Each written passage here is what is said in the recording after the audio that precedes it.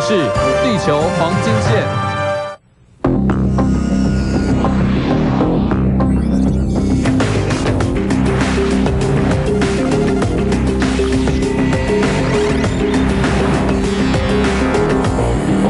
欢迎收看《地球黄金线》，带您掌握趋势最前线。我是刘姿玲，今天要带大家来关心台湾又穷又闷，谁来扛债？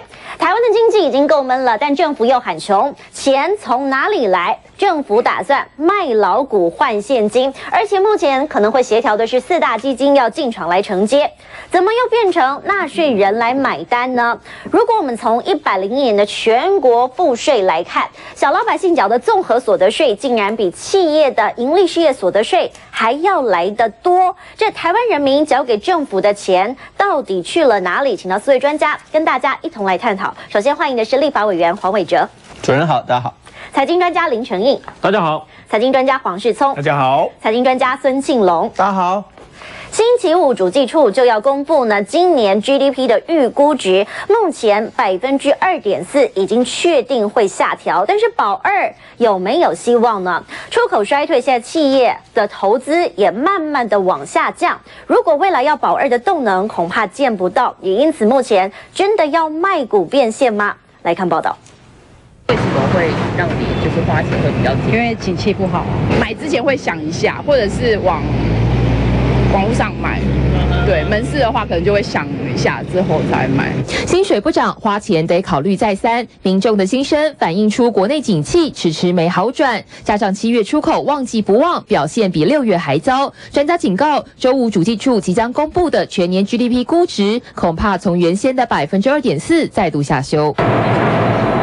国内经济闷到爆，从 GDP 四大主要项目来看，都不见好消息。民间消费信心没回笼，企业投资转为衰退百分之三点零三，加上出口不佳，政府财政拉警报，让各大研究机构纷纷吐槽，今年 GDP 已面临保二大作战。台纵院评估下探百分之二边缘，最乐观的台经院也只上看百分之二点五二。透过一个掀开锅盖的动作，让这整个经济沉闷的局势得以改变。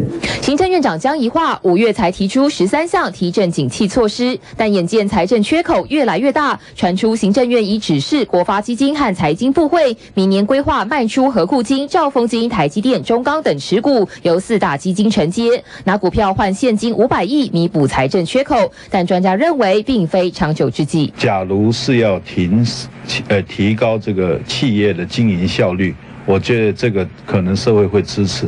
假设只是为了弥补财政的缺口，你想想看，那个只有救急，因为今天股票卖掉了，你没有股票，以后也就没有鼓励的呃所得。台湾的这个税率的这个部分，并没跟邻近国家相比，相对是比较低的。国营事业所持有的土地来讲，我都觉得这些部分都可以进一步考虑，是不是要用呃出售或出租的方式来延伸一些收入。欧美复苏不稳，大陆经济面临保期危机，依赖进出口的台湾很难置身事外。政府努力打破闷经济，挑战相当严峻。TVB 新闻肖明正、戴元丽台北报道。明年的财政缺口两千七百三十九亿，而且呢，现在大家还有七百亿的缺口数字，政府要怎么补回来呢？目前真的要卖股变现吗？但是民众又有疑虑说，这四大基金——劳退基金、劳保基金、公务人员退抚基金，还包含了邮储基金，这可都是人民纳税辛苦的铁汉钱退休金堆砌起来的。如果现在政府您真的要用提款机来领现金的话，未来民众的保障在哪里？会不会又陷入了负债的恶性循环？陈毅哥。保障在哪里哈？而且呢，这个循环就像你讲的一样，可能啊还会持续一段时间。我们先看看这个数字哈，这里是税入，今年一百零二年，明年一百零三年哈，大约都是一兆七千亿左右。税出的话，就是我们呢哈必须要去支出的钱，一百零二跟一百零三的话，都是一兆九千亿左右。是，各位，我们不要用电子计算机算，小学的加减乘除，稍微一下都知道。每一年的话都不够钱，所以呢，好，那么我们看一百零二年呢，哈，就加上这个债务还本以后啊，我们还有这个两千五百一十三亿哈需要去筹措，所以每一年都有两千多亿，我再去查一百零一年，也是一点二九兆的税入，然后呢，税出的话一点九三兆，也是不够两千多亿。那这个情况如果持续下去的话，我们很简单就知道了，每一年对国家来讲的话不够两千多亿，它只能够做两件事情。一件就是现在传出来的开源，开源的话可能就是卖股票，是但是现在因为有杂音出来了，那么所以呢，哈，说哎可能不卖股票了，哈，其实在民国九十七年的时候也曾经编列预算，啊，包括像四处中华电信，对对，后来呢暂时停止。九八年的时候呢，也曾经想要编列台湾烟酒公卖局，现在的话也暂时停止，不排除呢，如果不卖股票的话，要把五百平以上的土地拿出来考虑是否要采取释出。各位，这个虽然叫做开源。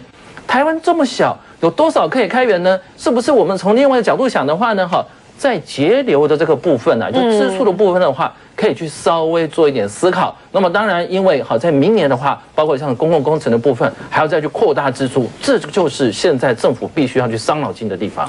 其实短线上，如果卖股票来说呢，可能股价都会有点波动，也因此呢，在这个价位上，小老百姓就会很担心，说自己报的这些金鸡母未来价格会不会下跌？下跌的价格不说，如果来看到台北股市整个的波动，这八千点已经说保卫战喊了整整两年了，目前真的是没有什。什么波澜？也因此，如果未来政府要扩大续股的计划，外资每次都把台股当做提款机，所以呢，现在政府要到货的情况之下，小老百姓难道是政府叫我们不要投资吗？世聪。对，我觉得对台湾股民来说的话，这几年真的是非常的闷。我们看到说，国际上各国股市都已经创了新高或是历史新高的位置的话，台股却还在八千点左右上下晃来晃去。那平常呢被外资砍杀就算了，居然政府也来加入砍杀股民的行列。怎么说？你看缺钱的话，他第一个动到就是说，我要科正所税。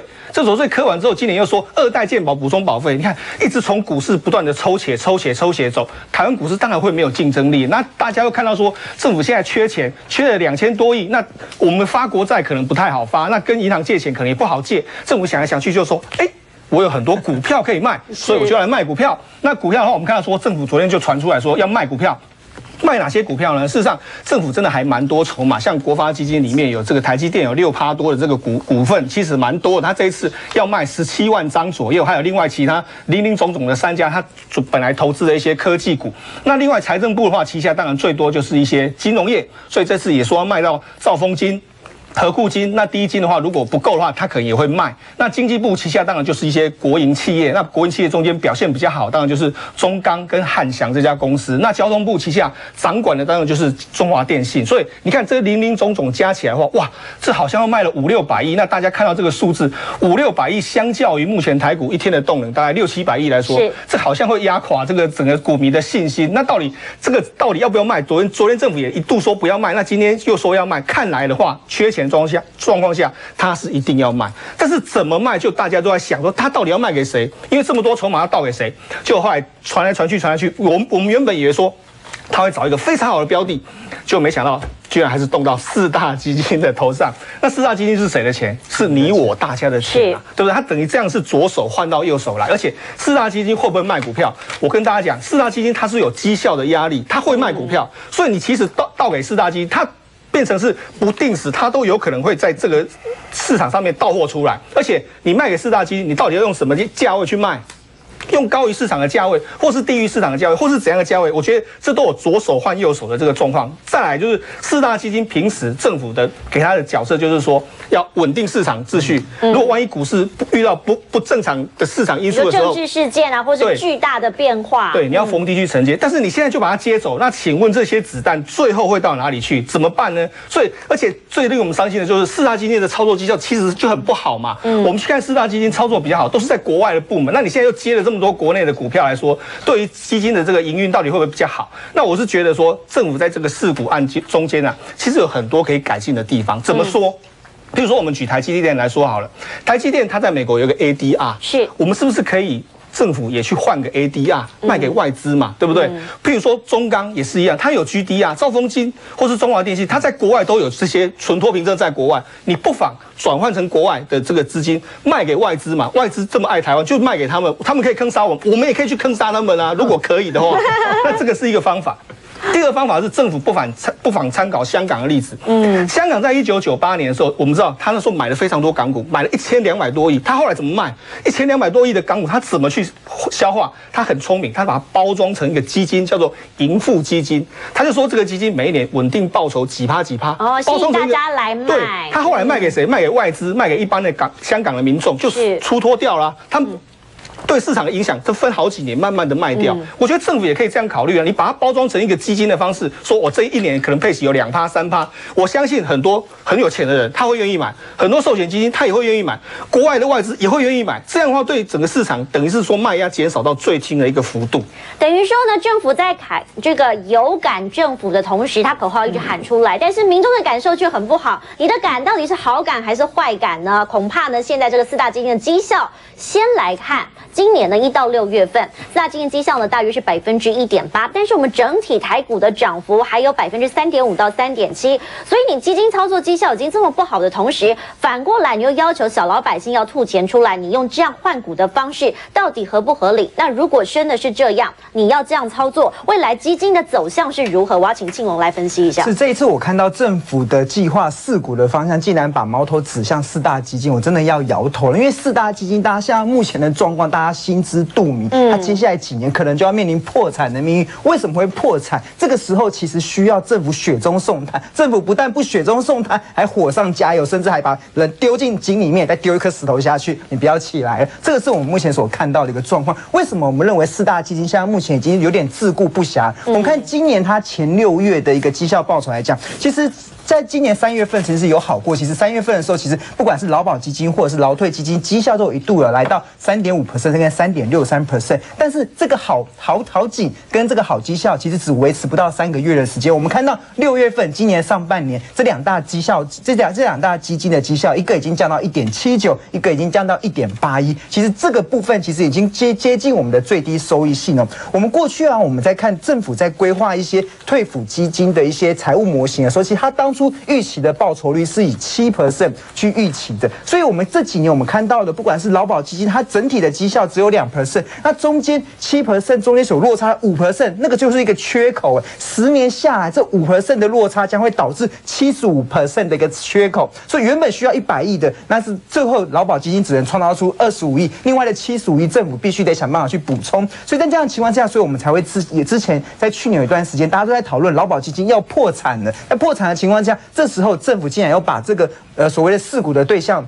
丢给劳保基金，甚至丢给劳退基金，我觉得真的是不妥。我只问一个问题：如果今天台积电在一百块，有多少的分析师觉得这个价格是一个好价格？是，我觉得应该大家这个看法应该大家都心知肚明。但是既然政府竟然要在台积电高档的时候想要出货给一个急需要绩效的一个基金，这个绩效如果以后做不起来，倒霉的是我们呢？我觉得这个才是政府现在必须得思考。我觉得四聪哥所提到的，到国外去发行 ADR，台积电。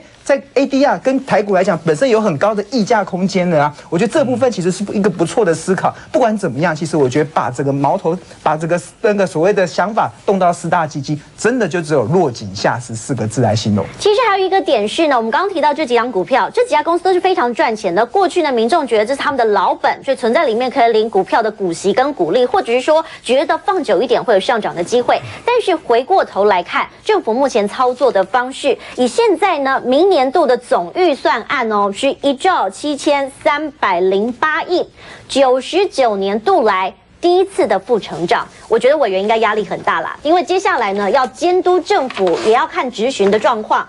过去我们看到美国总统大选的时候，有一个财政的悬案，举债上限要到了高点。台湾现在好像有点临界点的感觉了。哦，我觉得其实主持人刚刚讲的对，总预算的成长额度哦，其实是达到了负成长啊。如果是这样的话，中间有另一个大家大家会觉得担心的事情，什么意思？就是说总预算没有成长，或者甚至于负成长，可是它人事经费是成长的。所以说人事经费成长，表示说什么？它可以拿来做公共建设的，可以拿来做这个促进经济的这个动能的这个钱。更少了，所以我们这觉得蛮担心，而且负债会变增加。好，那我我给大家看一下这个这个表格，这是什么？过去曾经事故，在民进党执政时期的时候，好，这个中华电信事故民营化了，嗯，拿了六百五十四亿回来，好，那是闯关闯关成功了。刚刚提到在两千零八年马总统上任的时候，那个时候中华电信这还政府还想借中华电信再试股百分之七就失败，因为那个时候大家朝野就觉得说我们干嘛一直要卖卖主产呢、而且那个时候民党正是备受批评了。可是呢，到两千零九年那个时候金融海啸，海湾烟酒公司也要试股百分之三十，当然也被冻结了，所以变成说大家对于这种试股或者变卖主产啊、卖土地是非常有疑虑的，尤其社会大大家觉得说这个政府好像都没有办法来替我们增加收入。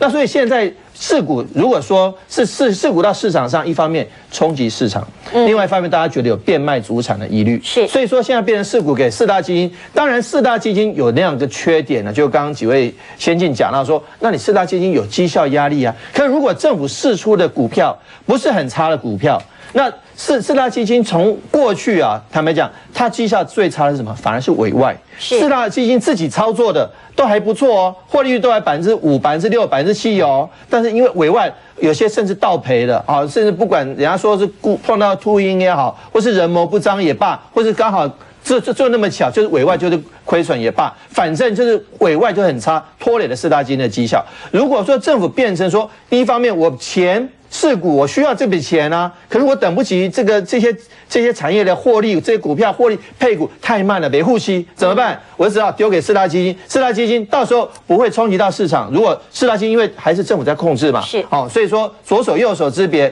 如果说不会造成市场的冲击，它又可以增加一些钱，那坦白讲是现在是没有办法中的办法。其实有很多的网友就在质疑说，其实我们的执政党跟我们的这个政府是同一个政党，明明他们党产赚钱，为什么我们的政府会亏钱呢？当然，并没有要针对政党的疑虑，但是我们平时来看，一百零三年的总预算竟然缺口有三千亿耶，这真的不是普通的数字。如果以人事成本来算，逐年的增高，也有人说，当初在检讨这公务人员十八趴的时候，是不是就是应该要精简所谓的预算，或者是有一些新的改革，这都是有讨论空间的。所以我要请教一下世聪，如果说政府呢说要改组，但是越改越肥的情况之下，它的支出不会减少，接下来这些人事成本要怎么办？对，我们看到说一百零一年的这个政府人事的这个费用真的是非常的夸张。我们先来看一下税出的话，目前是一点九兆，也就是说我们的支出有一点九兆里面，人事支出就占了一点二兆，占了六成左右。你试想，一个国家里面。居然绝大部分的钱是用来养这些政府官员的，那你你想国家竞争力有什么地方？我们还有其他零零总总的，只能够配七千亿这样的钱，试问国家竞争力怎么提升？那一点二兆呢，相当于两条高铁的这个费用喽，而且可以盖二十座的一零一，每一个人你我他，我们每一个人要负担五点二万元左右的水准，这么大的这个预算，其实政府也知道说这个人事真的要精简，所以政府前几年就跟我们说，他要推出一个所谓政府精简方案。从现行的部位三十七个变成二十九个，你看减的有够多吧？去年你看，包括新闻局、青辅会、体委会、消保会都已经没了。那照理讲，应该人事会减少啊，才对。就没想到说，中央的预算里面的人事的确是减少，减少大概几千人，一千八百九十一人，但是整体的费用却增加了五十二亿。那整体这个包括地方政府，因为我们知道五都升格之后，很多局处都升格，升格同时的话，变成全民的这个这个人事费用反而增加。一个我们整反而这个两年之内，人民的这个这个公务人员增加了一点二万人左右，等于是多增加了七十亿。而且有很多的职等是因为升格之后他就加薪对，加薪了，对，嗯所以反而是虽然说明目上说是要减，但是反而越来越肥的一个状况。那我认为说这个会造成我们整个。都资金受到一个排挤的一个状况，那尤其是说我们知道说这个主因，政府就说啊，主因是还有很多原因，除了人事费用，其实我们仔细来摊开这人事预算里面的这个魔鬼，四千多亿是用来支付现职的员工，嗯，大概有四千多亿是用来退退抚基金这一类的支出，另外其他的是一些零零总总国营会的这些东西，所以你可以看得出来，事实上退休人员这一块是占了非常大人事支出非常大的一个比重。那所以这一块不好好检讨的话，我我值值得让大家担心的，包括十八趴，包括退抚基金这些，都还没有到最高峰的时间，未来几年会最高峰。所以一方面政府虽然说我在减减少这个政府的原额的编制，但是另外一方面退休金跟这些这个国营会的这些福利越来越多，它也会吃掉人事费用。所以一方面你在增，一一方面你在减，一方面你在增，这样的下去，我觉得台湾竞争力会无形中就消耗掉了。我稍微做小小的补充哈，其实大家记得记不记得，今年七月十八号，美国底特律宣布破产，嗯，破产，底特律负债呀一百呃一百五十亿美金啊，就算。就算一百五十亿美金，将近五千亿台币啊，嗯，四千五百亿的台台币，七十万人。可是我们台湾，我们光是政府的负这个公布的这个国债就已经是这个五兆多，还会有包括隐藏性的负债，所以说真的是非常值得注意。我我简单给大家看这个。好，刚刚主持人你提到了，一百零三年的预算案，好，税入一千七百。好，一兆七千三百零二亿，嗯，税出一兆九千四百四十六亿，这是财政部公网站公布的哈。是。然后呢，我们的赤字是两千一百四十四亿，可是我们只编列了多少钱来付付息还本？我们的国债只编列九百六十亿耶。那今年一百二一百零二年才只编列七百七十亿，可是今年到期的国债有多少？请大家再看一下，简短的看一下就。今年一百零二年到期的国债啊。有一兆零一百九十亿，其中怎么付得出来其中一千一百亿是利息，九千多亿是是这个本金。嗯，那我们只编七百七十亿来还国债，可是到期却那么多，怎么办？就只好借新还旧。你说这样的财务结构，政府当然是没有动能了。像这样子的看起来，我觉得有点像釜底抽薪的感觉。所以目前大家呢用底特律来借鉴台湾，台湾也是一个国家，我们要来看到这个国家的竞争力未来会在哪里？庆龙。其实刚才那个委员有提到说，呃，美国的就是美国底特律七月破产，但是它破产很讽刺的是，美国的经济正处于一个复苏、强劲复苏的阶段，但是它的城市竟然会破产，而且底特律在破产前啊，整个政府的运作的功能几乎已经荡然无存了。比如说，你打电话给警察，刚刚报案说，哎，现在目前这边有犯罪现场，警察来到犯罪现场竟然要五十八分钟哦，为什么？因为警察人员都被砍掉了嘛，已经没有这么多的资，没有这么多的能力可以去处处理这些犯罪现场。那在底特律的城市中有十分之一的路灯。不会亮，有三分之一的公公园形同废墟，因为没有人管理。为什么会造成我们刚才所说的这样？是因为政府的资金预算被排挤掉，被哪些人排挤掉？其实就底特律的例子来讲，它是被公务人员的退休金所排挤掉，因为他们的负债里面超过一半都是为了去支付所谓的公务员的退休金。那公公务员退休金只是其中一款了，那另外一个部分会造成底特律破产，其实它有三个三部曲。第一部曲其实是税收下降，因为底特律全盛时期。有两百多万人口，但是到最近只剩下七十万人口的外移，其实跟他们产业结构有很大的关系。那我们看台湾，台湾这几年的税收其实也不断在下降哦。我们的实际的一个税负，所以那个所谓的实收税负比率，从一九九零年的二十 percent，这是一个比较健康的水准，已经降到目前只剩下十二点八 percent，这个已经是世界第七低的了，比中国的十九 percent 还要低，比韩国的二十五 percent 还要低。税收下降，政府的能够取得税收来源，以及就。逐年的下滑。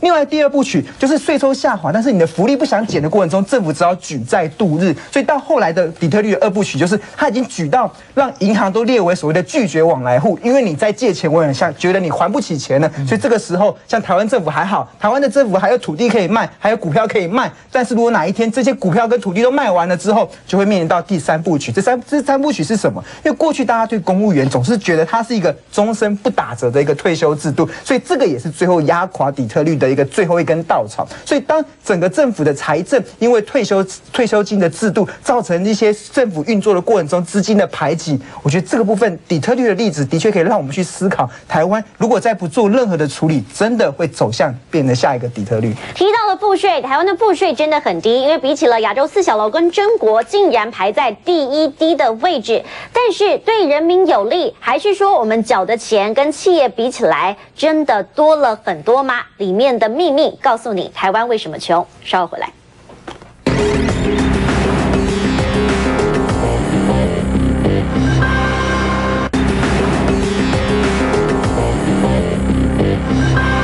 最近呢，大家都在讨论台湾的 GDP 成长呢，保二很有困难。但是如果我们平心而论，保二这个数字仍然是正成长。但是为什么台湾不断的举债上限似乎有提高的趋势？为什么穷呢？我们就要归咎一个问题，是不是租税不公？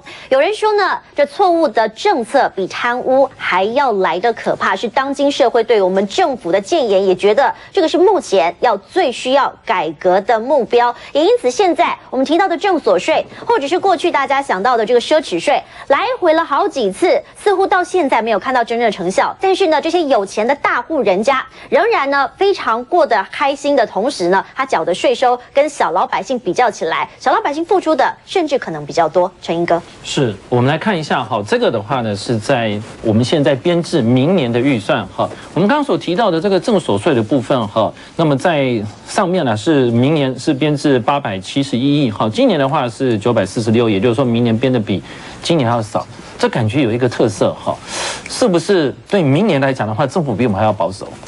那为什么明年讲的说会比今年少？还是说今年其实呢？因为到目前为止大概收四百亿出头而已啦，嗯，所以是有点不足。那既然是不足的话，明年就务实。对了，比较务实。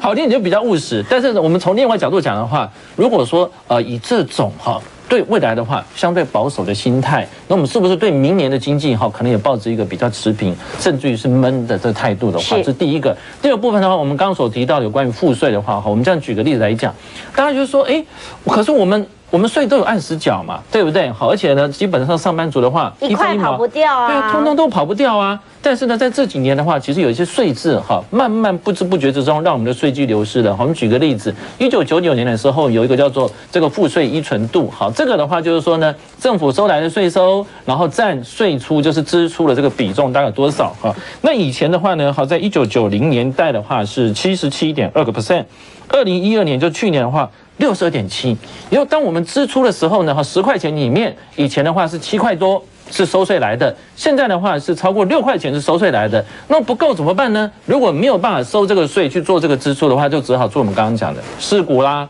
卖地啦，或者是借钱啦，哈，做不同的这个来源。那么这里在哪里？因为我们的税基流失了。在这几年来，几个税制的变化，好像一九九九年的时候，那时候有个金融营业税，从五趴降到两趴，那最后呢，哈，这两趴的话又拿去做这个金融重建基金，哈。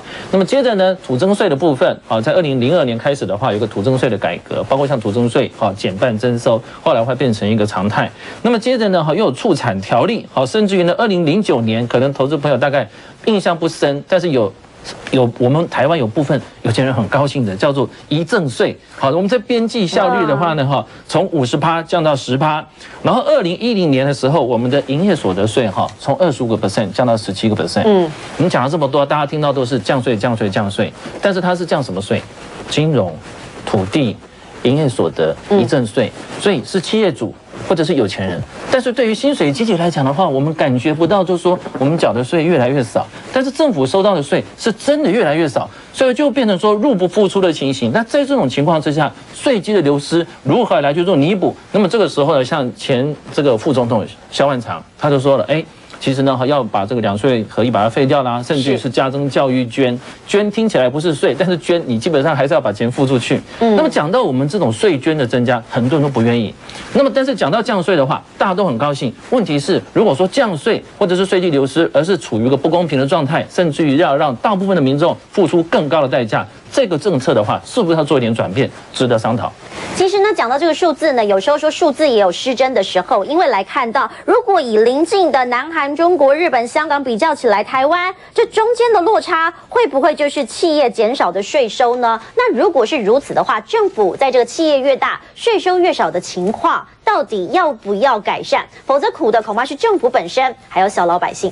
是，其实呃，前任财政部长李树德在他任内的时候，他极力在宣导、宣传一个所谓的理论，叫做“瘦儿”，叫做“肥儿理论”。他所谓的“肥儿理论”，就是认为啊，政府的功能就是要帮企业减税、减税、减税，让企业可以多吃一点，那这只鹅就会长得越来越胖、越来越胖。等它长到很胖的时候，它随便动一下身体掉下来的毛，政府随便扫一扫就可以减到很多的税。我觉得他这个理论其实是合理的，但是我们看到政政府这几年它的一些准确的政策，刚才陈英哥有提到说一个叫做促产条例的一个优税，那个所谓的租税方案，促产条例的这个租税方案，过去十年已经帮这些企业家，边帮这些高科技公司，已经省下了八千五百亿的一些税收，八千五百亿的税收相当于二点二年，就是呃个人所得税可以二点二年的税额，就表示如果我们没有省这个税，全全体国人可以二点二年都不用缴税了，那省下这么多。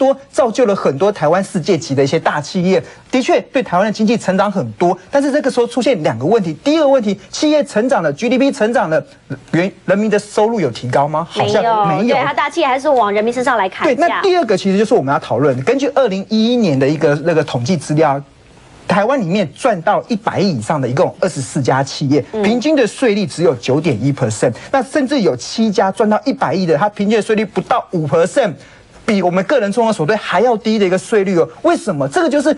呃，政府所谓的肥儿理论，我们已经看到这些企企业已经变成很肥了，这时候是不是该宰的时候了？我觉得是要思考一下。那另外一个部分，刚才陈英哥有提到，我们这这这段时间的减税，像遗遗产税跟赠与税的降低，五十 percent 降到十 percent，的确让很多过去有钱人把资金移到海外的，这个时候全部都回流。在回流的过程中，他有没有用在实际的一个所谓的经济的一些建设上？我觉得那个是一个很大的问题。实际的产业活动，我们看到好像没有更多的资金拿去炒楼、炒房，造成。现在的房价居高不下，让我们中产阶级的这个受薪阶级发现买房子更是一个遥不可及的一个对象。那第三个，像企业营业事业所得税从二十五降到十七 percent，还是要再次强调，在降税过程中谁受贿了？其实都还是企业主受贿。在这些帮有钱开大门的过程中，我觉得受所谓的肥儿理论它是对的，那让整个企业越来越大，越来越大的过程中，当企业产到一定的时候。企业该去尽他该尽的社会责任了。其实过去呢，常常讲的是 CSR，是这个企业的社会责任，还包括了如果呢这个企业能够回馈社会的话，我们的薪水是不是要提高？当然也有很多企业会叫说，在这个大环境不景气之下，竞争力是必要的，所以希望国家的政策来支持。但是如果我们从数字来看呢，光是盈利事业所得税跟综合所得税，观众朋友你可能想不到的是，我们的综合所得税呢，竟然。比这个盈利事业所得税还要多了将近三百亿左右，也因此大家缴的钱在帮政府希望共同来负担的同时，您知道吗？在台湾呢，这个七月份的国债中，平均每个人的负债数字已经高达了二十三万元，相当的可观。委员。呃，我觉得其实我们看这个国债的情形哦，当然会觉得触目惊心。可是看，如果说大家想说啊，没，反正这个欠债我用不到，也掉不到我身上，不是我付的，错，都是我们的税金付的，因为政府没有。他没有其他的这个这个收入，我我们有看到啦。我们在总预算，你刚刚提到了，就是说我们总预算里面有有我们的税呃所得税来来来负担的百分之六十几而已，其他的部分都靠借债啦，靠靠借借钱。可是借钱从哪谁要谁要支出这个钱，还是我们的子孙呢？那以这个现在的政府对于这个公共债务的这个状况来看呢，可以看到，这是今年到七月底为止未偿债务余额。余额大概五兆三三千多亿，这是政府公告的哈，是，但是没有包括这些隐藏性的负债，包括本来就应该负担的社会福利以及年金这个制度都没有。那以这个部分到七月底，好，我们借的钱一年以上的债务，好，这边有有借的这些钱，借了九百亿，一年以下的债务借了一千三百五十亿，总共是两千两百五十亿，是，这个是我们七月份借的，嗯，可是我们有还钱吗？有啊。这个长期的债务还借九百，你看借九百块，借九百亿还九百亿，呃，借右右手借左手还都没有没有什么那个啊，没有什么这多还的。那未满一年的债务，我们借了一千三百五十亿，才还了七百四十九亿，那就是什么？政府就借短期的这个借借款来作为啊我们偿债啦，回来作为我们这这个公共支出。那政府用这种短期的，因为我们知道短期债务啊，一年以下的债务是不列入国债的，是，所以说变成用这样的方式来美化我们的这个债务数字，你说应该吗？那另外刚刚提到了，我们提到我们刚刚提到这个肥鹅理论，我们养养这么把鹅养这么多这么肥，我们借的遗遗赠税来调降，我们借的这个呃正所税，我们借的这个。这个呃，营所税其实正所税应该是坦白讲，如果是一个理想的的情况下，是应该课征正所税。不过刚刚提到错误的政策比贪污更可怕。我们现在刚刚不节目一刚开始说，政府要卖股票，希望来换现金，换多少？换五百亿。可是我们去年正正交税少说就五百五十亿了，是，而且这还是今年四月份的数字哦。十至八月来短短这个正交税短收了更多，所以真的如果政府。这一个错一个错误的政策，导致到最后还必须卖股票，还必须卖土地。坦白讲，我们过去的政策很多，呃，不是。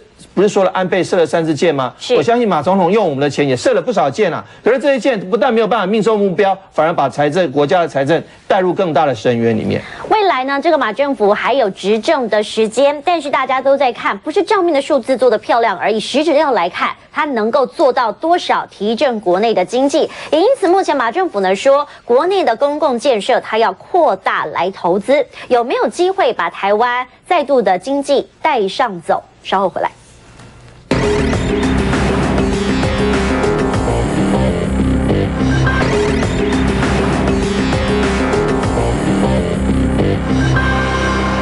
呢，我们对照了对岸中国在拼经济，就是扩大内需，还包含了他们的公共建设，还有很多的硬体设施。所以台湾也来搞个十二大的爱台建设。来看到呢，这个四年来，光是这十二个项目呢，投资的是两兆一千亿。但是如果仔细算，这 GDP 的成效呢，是不到一兆八千亿元，等于呢倒贴了三千亿元新台币。所以包含了这些交通网啊、港市再造、中部的科技园区。其中我们要来看到的是桃园的国际航空城，似乎有人诟病，因为呢，目前为止有很多的公共建设，大家看到是文字馆的同时，你在网络上会看到很多的照片，都是航空城附近的这些杂草丛生的地，说要卖出，是不是一种炒地皮的现象？政府如果你真的要投资公共建设，人潮还有未来物流金流的规划都要完善。目前合计三兆多的钱，政府又要全民来买单了。徐聪，对，我们知道说十是那个十大建设的这个成果，当然大家都深入人心，所以之后每一个政治所谓建设建设不断的建设，那当然马总统上任之后推出了爱台十二大建设，他当然要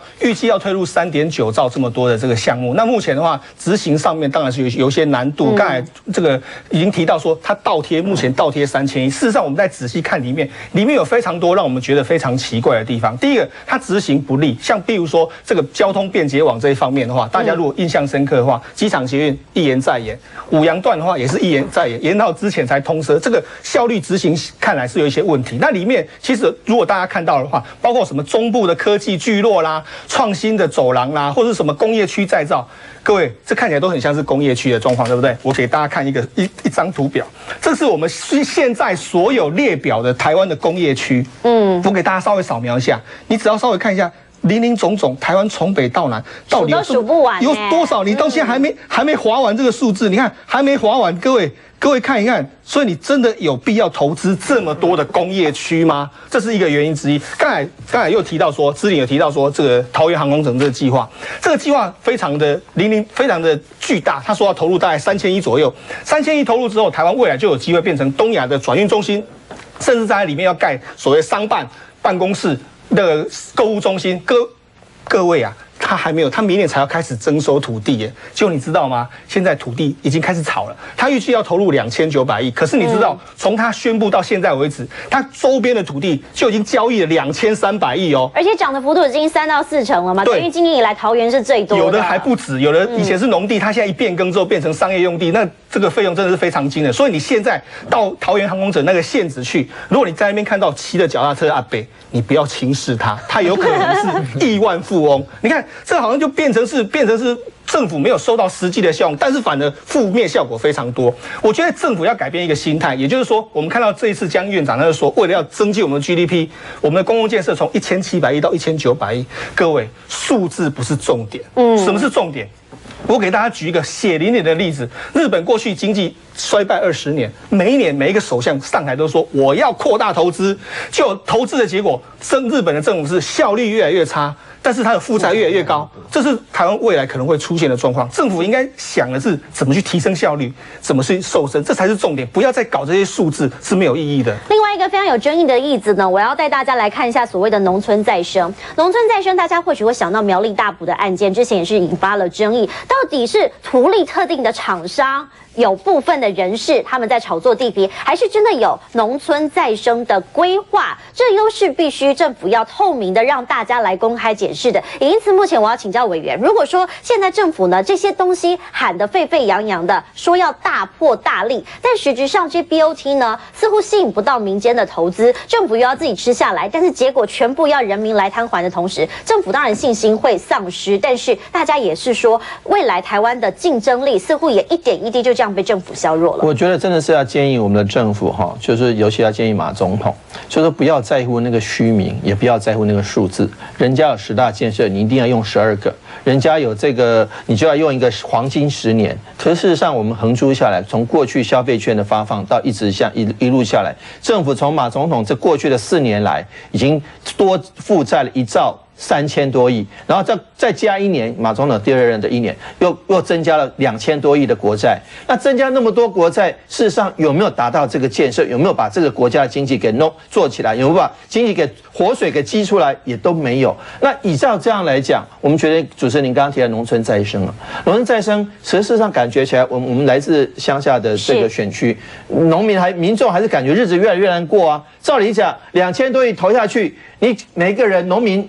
几十万、三十万农、三十万农民，专业农民才八万人，你就大家分一分。我看现金我还要领呢。他们都好好过一点呢。你拿两千多亿，我简单的说，这个公公共公共建设，刚刚您提到说，嘉宾长说啊，可能我们要公共建设要提呃要再增加一百零一年度的公共建设支出一千九百九十亿，一百零二年度就今年一千九百八十五亿，然后到一百零三年度啊，这个公共建设要再增加，增加多少？增加到一百，增加一百七十五到两千一百亿，不过都占我们的总预算支出。你可以看哦，马总统刚上任支出九十八年的时候，那时候公共建设有三千多亿哦，然后占我们的总预算支出百分之十六，现在一直降到百分之十，一路下降。你说政府没有钱来做，而且有了钱就拿拿去乱做。那这样子不是很糟糕？我们还在继续负债，继续等二三年。我想，二零一六年一二零一六年的时候，我们到时候国债的累积又不知道要变成什么样。那到时候我们的 GDP 能够真的增加吗？老百姓的日子能过得更好吗？真的是有点怀疑的。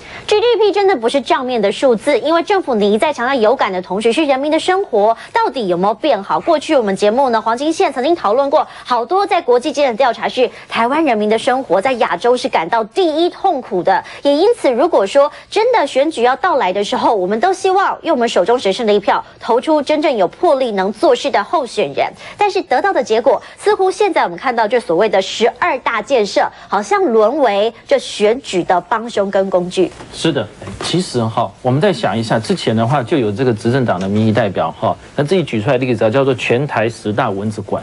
全台十大蚊子馆呢哈，结果他们自己举出来，对，结果据这样子估出来的话哈，浪费公帑啊，大概差不多千多亿。我们举例来讲，其中有一个渔港，哈，渔港啊盖好以后，就发现说，哎，没有办法做适当的用途。那原因是什么呢？原因是因为国际的渔业啊的资源哈跟趋势有点改变。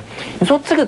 国际的这种鱼哈，这鱼它已经游了几十年、几百年了哈，会突然之间有出现太大的改变，就是嗯，我们感觉这个理由并不是非常的充分。啊，那我们再举例来讲，其实呢哈，在之前啊也有民意代表哈，在这个台北市啊议会的话，比如说台北市也有十大的蚊子馆，是，比如说像南港哈的这个极限运动中心哈，比如说像是北投跟文山的公民会馆哈，平均每一天的使用人次的话，不到五十个人。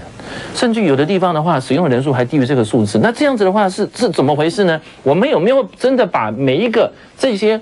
已已经，我们已经开始在借钱过日子了。我们借来的这些钱有没有把它善用？善用的就是说，你不只要去做，不是说选举到了以后，我们知道一定挖马路，然后一定挖电线杆，然后一定还要再买水管啊，而且呢还分开来，还不会一次做。所以一条路要要把它挖三次，好好的红砖道要把它跑起来。为什么呢？因为选举到了。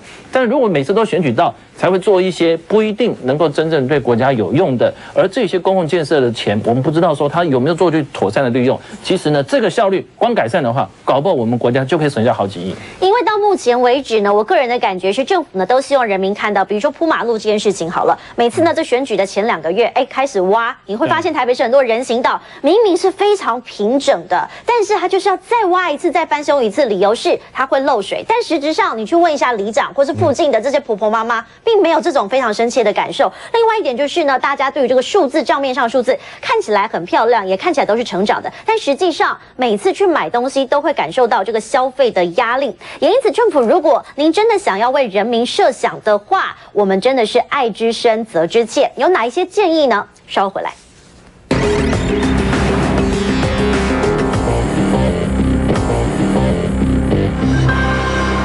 在有很多的政论节目呢，都在讨论政府政策的问题。但是呢，观众朋友边看边骂的同时，实际最深切的感受是真的觉得好闷。也因此，黄金线在这里呢，真的希望政府能够大步大力做一些大家看得到、感觉得到的事情。也请委员给政府一些建议。其实马总统就任这几年来，一直不管我们的经济成长数字是好看还是难看，从二零一零年的百分之十点八八，一直降到去年的百分之一点零三，都是让人家感觉到说都无感。所以，而且是恶感，我觉得这真的觉得蛮可惜的。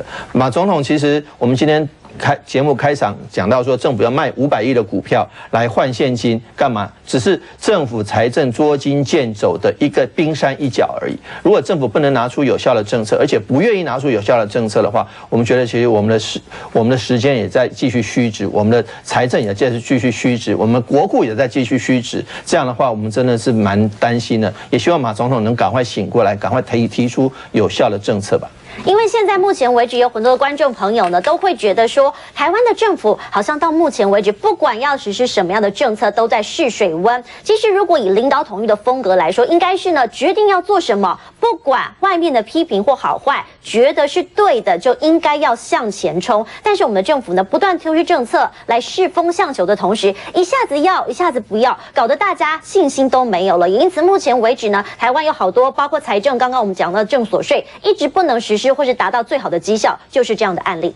其实我觉得政府它能做什么？我觉得真的套一句那个 PC Home 的董事长张志宏说：“有这样的政府，我们何须敌人？”我觉得这几年，其实我拜访了很多企业，许多的企业老板回馈给我的一句话，我们常常会问他说：“你希望政府为你做什么？”他只说了一句话：“政府什么事都不要做，我就阿弥陀佛了。”这个其实才是我们真正的，我们一直在期待大。就是大有为的政府，但是其实台湾本身是一个岛国的一个国家，我们本身台湾的人民本身是具有创造力、是有冒险力的，而且我们的挑战性是很高的。这时候我们在努力，台湾人在努力打拼的世界的同时，政府一堆政策来钳制你，让你让你什么都管、什么都管的情况之下，其实是压缩了产业界的一些生存的空间。像第第三方支付就是一个很好的例子，这个明明是可以让网络的网购商机蓬勃发展一个东西，但是政府的一个因为可能银行法的一些规范中。它限制住了，那这么庞大的商机。